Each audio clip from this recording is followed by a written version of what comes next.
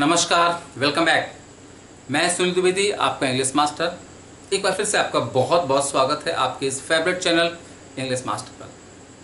और इस समय हम आपको सिखा रहे हैं रूट वर्ड से वोकेबली कैसे तैयार की जाती है।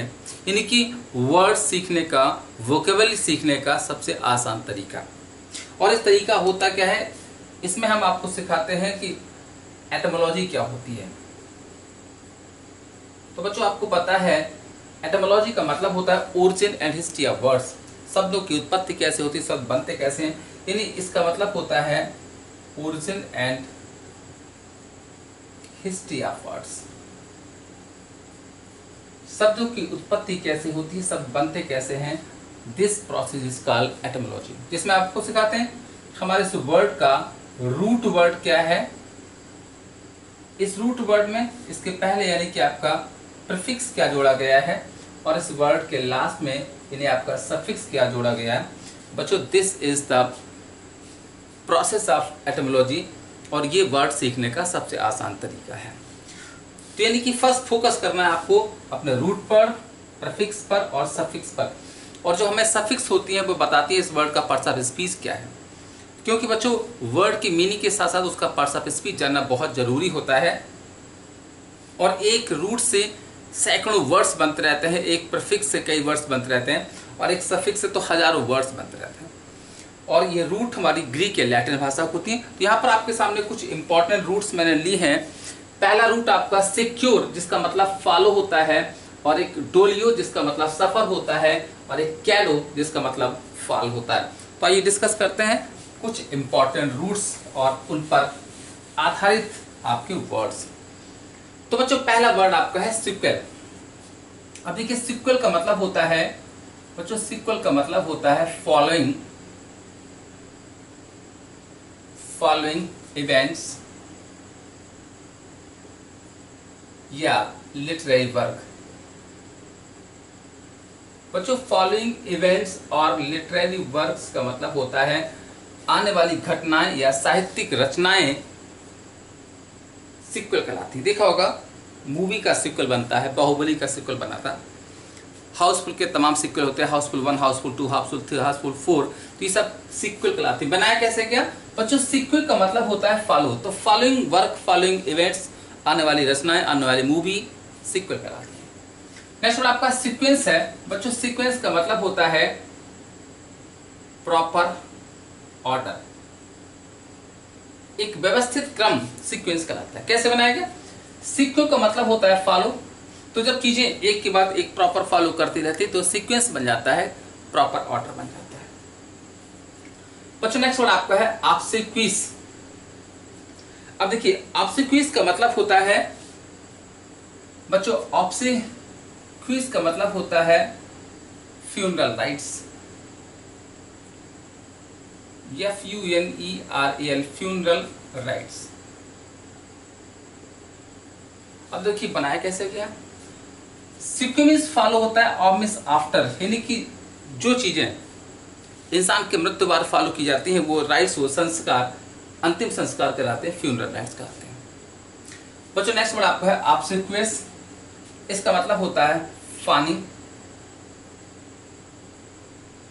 F A W N I N G fawning या एक्सेसिवली पोलाइट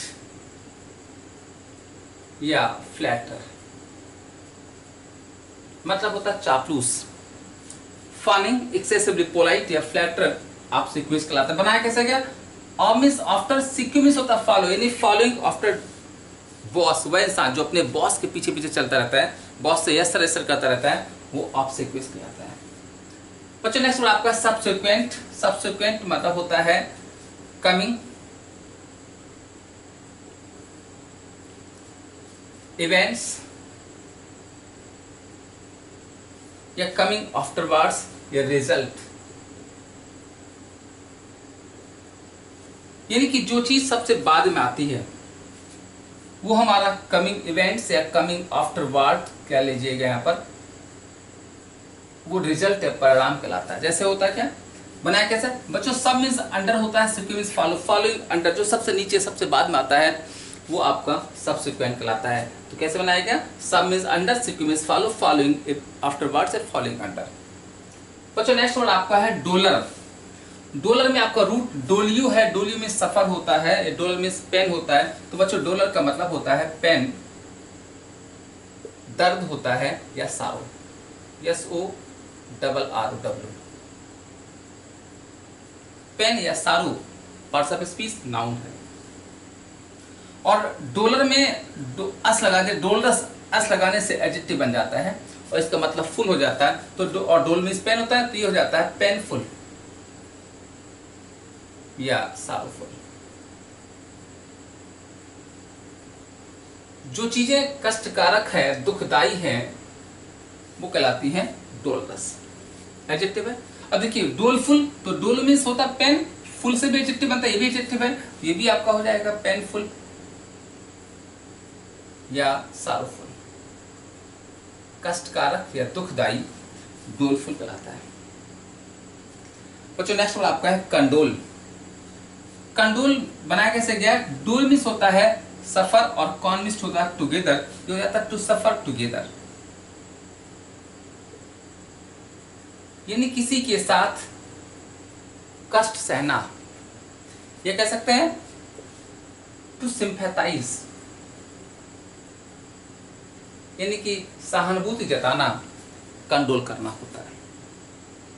और कंडोल से कंडोलेंस बना देता है। जो कंडोल वर्ब है और कंडोलेंस हो जाता है नाउन तो सिंपैथाइज का नाउन बन जाता है सिंपैथी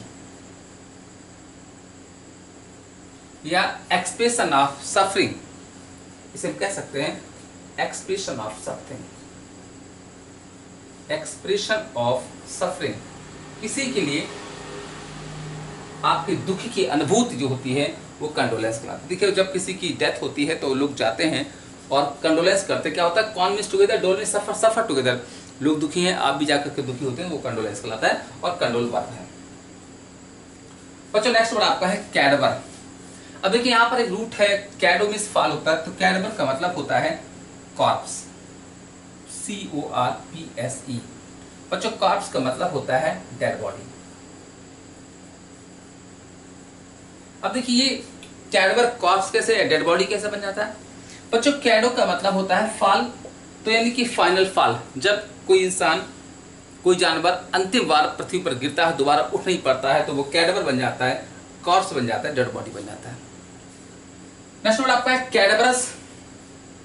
इसका मतलब होता है gaunt G A U N T gaunt या थिन।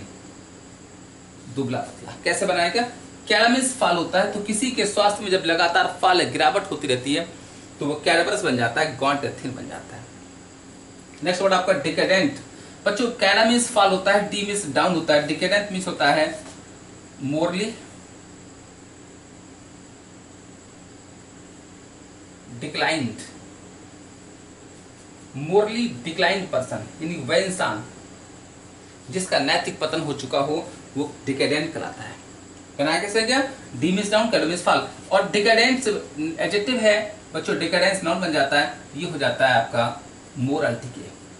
किसी इंसान का नैतिक पतन कहलाता है।